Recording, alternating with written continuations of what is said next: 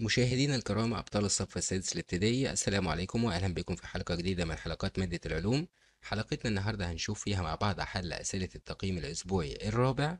وعايزين قبل ما نبدأ بذكركم بالتفاعل على الفيديو من خلال إن إحنا نوقف ثواني بسيطة ونضغط على رمز أعجبني اللي هنلاقيه موجود أسفل الفيديو. علشان الفيديو يوصل لكل زملائنا كلهم يستفيدوا. تعالوا دلوقتي نبدأ مع أول نموذج من نماذج التقييم الأسبوعي للأسبوع الرابع. وهنحله مع بعض بالتفصيل وأول سؤال فيه بيقول لي أكمل ما يأتي. يقوم نقط بضخ المزيد من الدم لتغذية العضلات اللازمة للحركة. علشان الإنسان يتحرك فيه واحد من الأعضاء اللي موجودة في جسمه بيعمل عملية ضخ للدم علشان يغذي العضلات. هنقول له العضو ده هو القلب. يبقى مكان النقط يبقى هنقول يقوم القلب بضخ المزيد من الدم لتغذية العضلات اللازمة للحركة. السؤال التاني بيقول لي أكتب ما تدل عليه العبارة.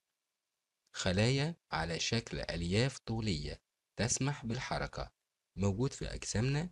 خلايا والخلايا دي بتكون واخدة الشكل الطولي يعني بالطول ودي هي اللي بتخلينا نقدر نعمل عملية الحركة بسهولة.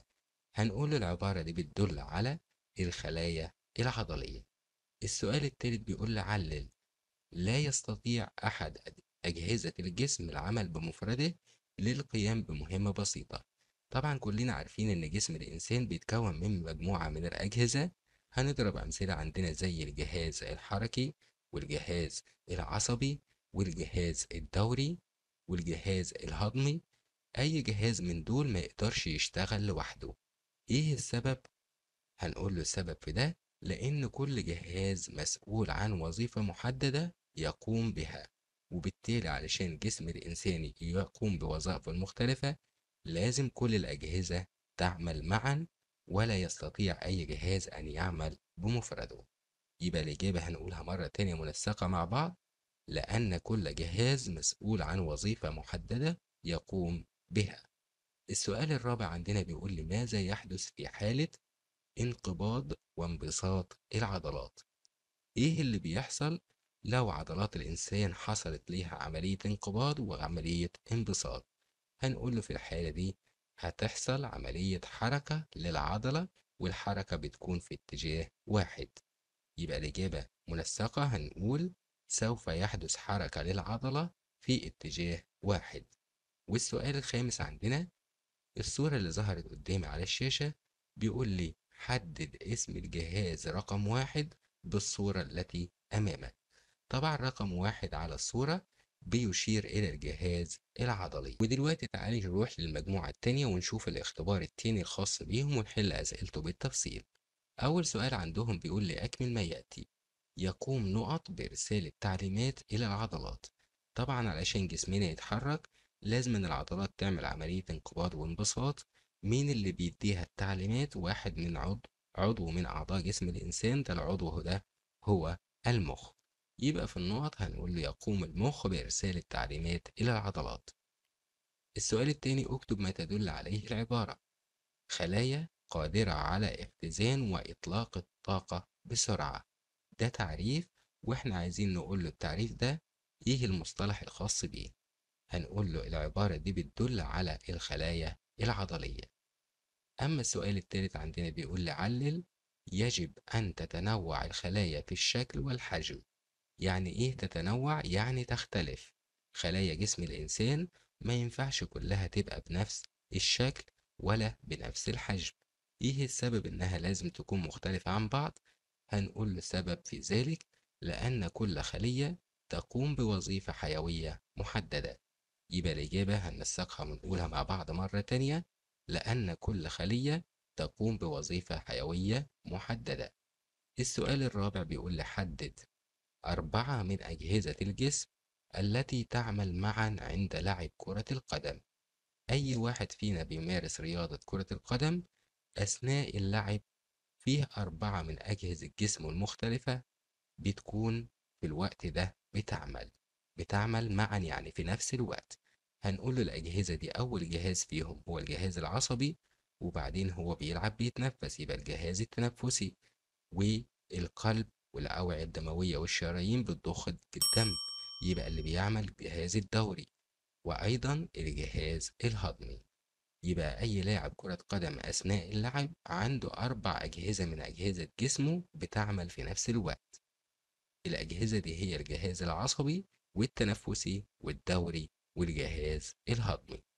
أما السؤال الخامس في النموذج ب من نماذج التقييم الأسبوعي. للأسبوع الرابع في مادة العلوم لطلاب الصف السادس الابتدائي بيقول لي الصورة اللي قدامك عليها رقم اتنين. اذكر اسم الجهاز ده هنقول له الرقم ده بيمثل الجهاز الهيكلي.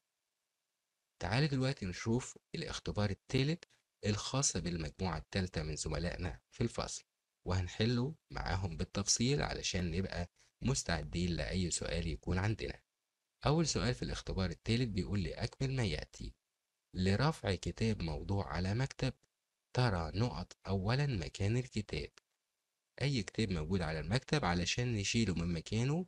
مين اللي بيشوف مكان الكتاب في الأول؟ هنقول له ترى العين أولا مكان الكتاب. أما السؤال التاني عندنا بيقول لي اكتب ما تدل عليه العبارة. جهاز يتكون من عظام وعضلات وأربطة وأوتار وغضاريف واحد من الأجهزة اللي موجودة في جسم الإنسان.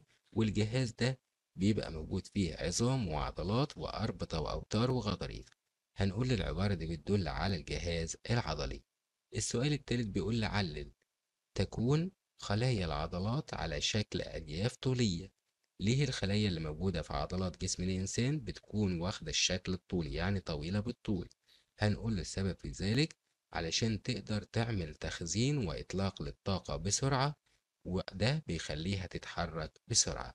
يبقى إجابتنا العلمية هننسقها ونكتبها كالتالي حتى تقوم بتخزين وإطلاق الطاقة بسرعة مما يجعلها تتحرك بسرعة.